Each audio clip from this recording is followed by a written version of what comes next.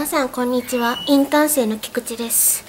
赤青緑黄色。私たちの見る世界にはたくさんの色が存在しています。そんな色たちを私たちは日頃から何も思わずに持ち歩き身につけて生きています。その色たちに知らず知らずのうちに影響されて人々は色からパワーをもらっていることをご存知でしょうか？前回は橙色について紹介しました。第6回目の今回は赤と青を混ざって合わせた色である紫色についてご紹介していきたいと思います皆さんは紫色にどんなイメージを持っているでしょうか？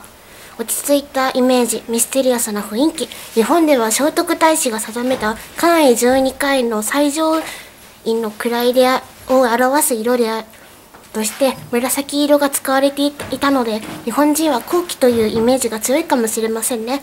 では早速紫色にの特徴について見ていきましょう 紫色がもたらす心理現象は以下の通りです。想像力をかき立て感性を豊かにする。緊張や不安を癒し穏やかな気分を与える。性的なものを感じさせる。催眠効果がある。心と体の回復を促す。勘を鋭くする。緑と真逆の色である。紫にも癒しの効果があるということがとても不思議ですよね。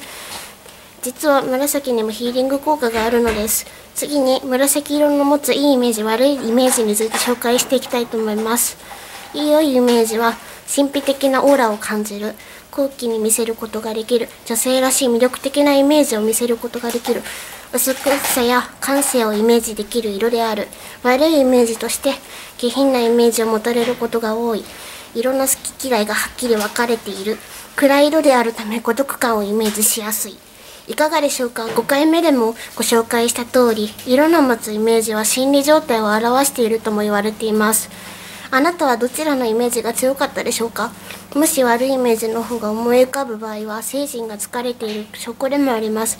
マイナス思考を取り除けば色の良さに改めて気づくかもしれませんね。また紫には心と体を癒す効果を持っています。気分を落ち着かせることができる色でもあります。心と体を癒したい。気分を落ち着かせたい。女性的なイメージを持たせたい。高貴なイメージを持たせたい。そんな方は紫色のアイテムを身近に置いてみたり身につけてみてはいかがでしょうか。最終回はピンク色についてご紹介していきたいと思います。この動画が良いと思ったらチャンネル登録といいねをよろしくお願いします。Beep.